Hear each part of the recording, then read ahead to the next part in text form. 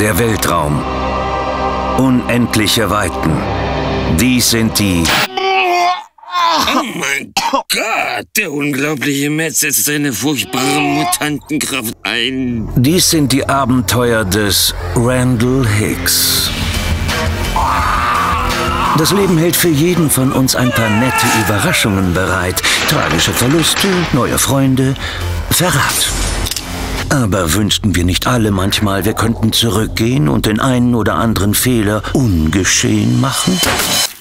Nur ist ausgerechnet der Typ, der diese Chance bekommt, ein soziopathischer, kleptomanischer, nichtsnutziger Vollidiot. Oh, hast du den gekillt? Ja, ja, lass mal stecken, okay? Ich bin tot.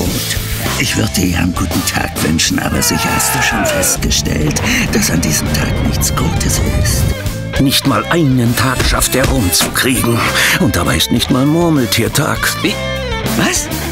Wollen Sie mir erzählen, dass heute Montag ist? Heute ist kein Feiertag, heute ist Montag. Montag, Montag, Montag, Montag, Montag, Montag, Montag, Montag, Montag. Du bist verflucht! Möge die Macht mit ihm sein. Kein Wunder, dass du eine interdimensionale Bresche geschlagen hast, die das ganze Universum vernichten wird. Ja, der war gut, oder? Sag mir, Randall Hicks, was ist die allergeilste Science-Fiction-Saga aller Zeiten? Sagtest du gerade allergeilste? Randall's Monday.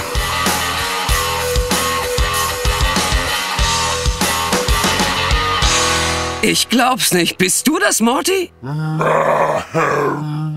Bezahlst du eigentlich irgendwann mal deinen Teil der Miete? Der Bastard ist einfach zu schlagfertig.